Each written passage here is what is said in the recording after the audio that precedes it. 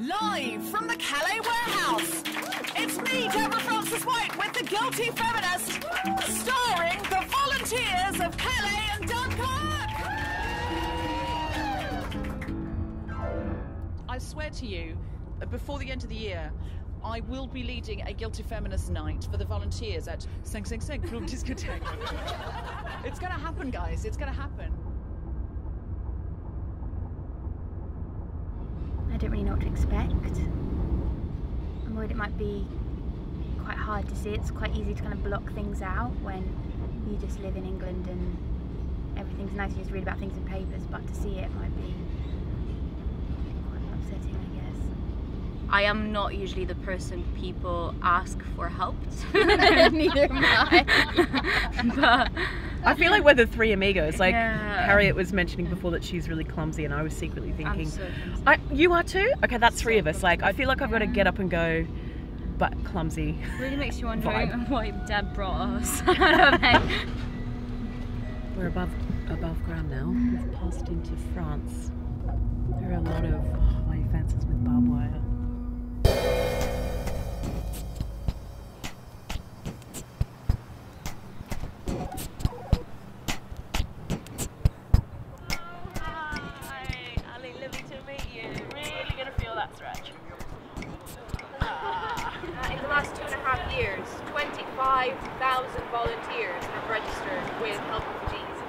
17,000 of them have come through those gates.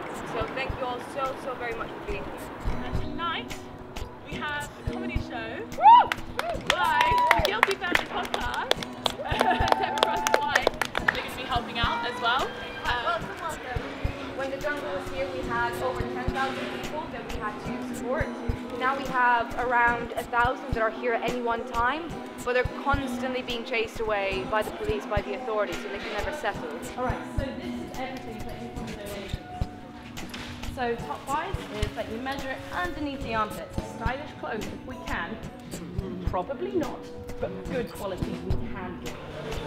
We're gonna do a carrot, cucumber, some red beans, and then we're gonna have to do a dressing. So if anyone's up for doing a massive vat of dressing, then come and tell me. All dressing suggestions are welcome.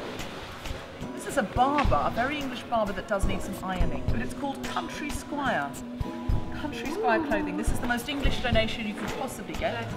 That's not a fashion hole, that's just a regular hole. Thin waterproof jacket, thick water, small thick waterproof jacket.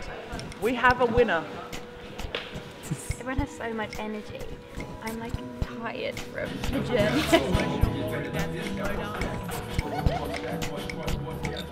I think somewhere like this just attracts really nice people. Like, I haven't met any dicks yet.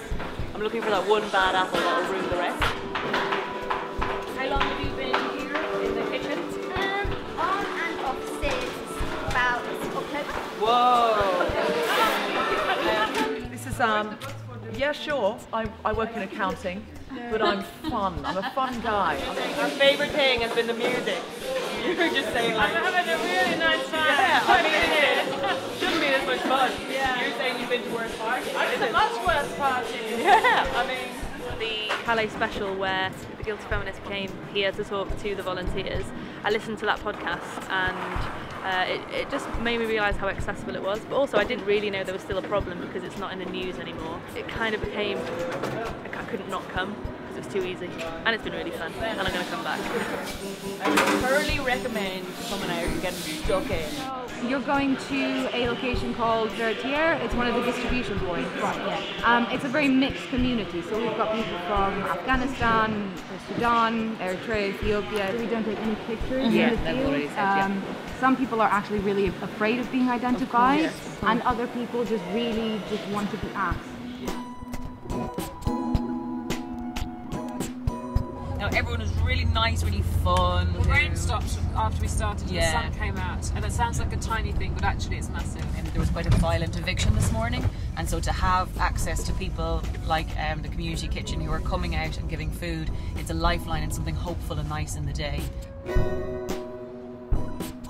The info bus is a place where everybody can charge their phones, they can hook up to some Wi Fi. It's the very thing that is keeping these guys here feeling human and connected. I met a guy and he was saying that he was a stand up back in Eritrea and then he kept apologizing for his English. And I was like, I've seen stand ups with way worse English than you. The kindness is extraordinary. One of the lads was like, You look cold, do you want my jumper? And I was like, No, no, no, I'm fine, you know. And I felt very safe with these just lovely, lovely people. Like now I have the, I've had the interactions and I've seen the people and it's like, I want them to have the nicest things I can give them. When you talk to people, and they're like, "Oh yeah, I was a stand-up comedian in Eritrea." The way he described it is like, you know, both being in The Handmaid's Tale, it's like being in a police state. He said they're all psychological walls, mental walls. It's a dictatorship, and anybody who opposes the government and the done thing in any way possible, they are oppressed, disappeared. He said now Calais is a different kind of walls. He said it's we're, I'm back in walls, and I just I want to be free of the walls, and I just want a little patch of earth to live on. It's this mixture of like dealing with something really horrible, but giving all the love and the support really makes you want to come back and spend more time here. Hello, Calais.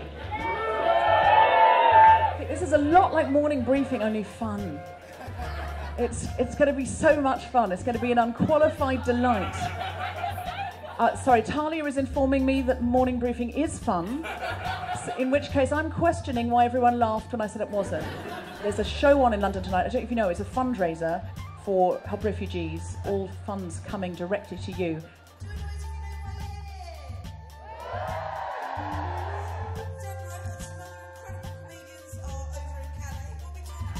Um, can we have a round of applause for Deborah Frances-White? It's insane. It's insane what you can put together. Um, you guys too. Well done. Um, don't be dickheads about it though. Like certain level of being awesome that I can tolerate, guys, and you've exceeded it, and I feel sick.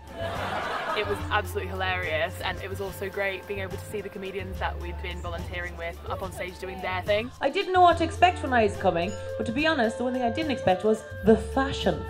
The fashion, guys. Big up the refugee community kitchen with the headbands. Whoa! I was like, didn't expect that. It was so nice to have support from such famous people to come over to this place. One of the young guys came up to me and I was like, right, information, info, pass information. And he came up to me he went, uh, he went, where are you from? I was like, shit, am I in an Uber? so I said, I'm from London. And he was like, where are you really from? so I said, uh, my parents are from Nigeria. Someone from Nigeria here. Where? Come to the front. She's here. She's here. She has arrived. How long have you been um, working out here? Uh, two months. Two months. And how have you found it? It's amazing. I work with RCK Kitchen. Okay, yes. You. It was also incredible having all our volunteers in a normal sort of situation, um, because what we do really isn't normal. And today has genuinely changed me. I never in a million years thought that I would wear Crocs. Uh, just the amount of dance music in the kitchen, I was loving it. And I did want to make up some kind of like chop the carrots, chop the carrots, wash the pans, wash the pans, distribute, distribute, put on a lid. You don't want a lid? That's fine. Take off the lid, take off the lid. All right, it's time to talk to the Union Chapel. Union Chapel, are you there? They're clapping, but we can't hear anything. Can you hear me, London?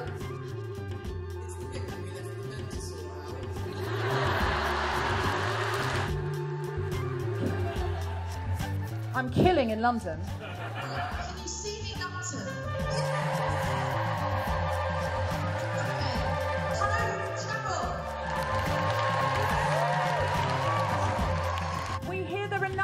Of you, is that true?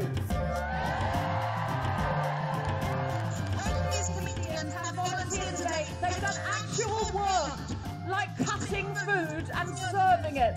It's the first time they've worked for 10 to 12 years, and they're tired, but it was good, and you should come too and do work. And can I say, we volunteered one day.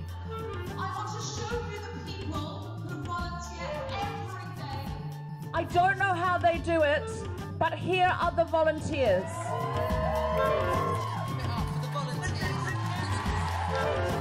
It was really great to see the solidarity and support that came from the supporters in the UK. Tents. Buy tents. Send tents. Send sleeping bags. Send clothes. Send shoes. Shoes are a big deal. I think for me, I sometimes feel the world's a really difficult place. Oh, it's so futile. What can I do? Yes. For someone to go, you could do eight hours, and that's it, and you've helped us today. There is so much to do here, um, and I would say that if you're thinking of coming, um, read up on what you can, but just do it. I don't know if it's like an English trait or something of being like afraid of it getting in the way or that you're not like the right person to do something. But um, everyone here genuinely seems really happy that we're here to help. I've never been anywhere in my whole life where you can just slot in, regardless of who you are, what experience you have. You can surprise yourself. You Yeah. might be a chef. You might be uh, someone who's organising the admin of, of, the, Yeah. of the donations. Even maybe donations. I'm going to offer some. I'm going to sort of dance and cheer everyone up in the Yeah, corner. Just, honestly. like throw some moves. Like, guys, guys, I'm a performer. Let me inspire you to wash the dishes. Yeah, I, I mean, I think you'd probably end up having to wash some dishes. No, I don't think so. Just come. It's the best advice I can give. Like, please, please come. You'll be welcomed with huge open arms. It will change your life forever, um, and you'll meet the best people possible. So please come. This is Deborah from The Guilty Feminist saying thank you so much for watching our film. If you would like to get involved and volunteer or donate, please go to helprefugees.org. And if you would like to perform for the volunteers or teach yoga or some other restorative skill, please email us at calais at guiltyfeminist.com. We really hope to see you there.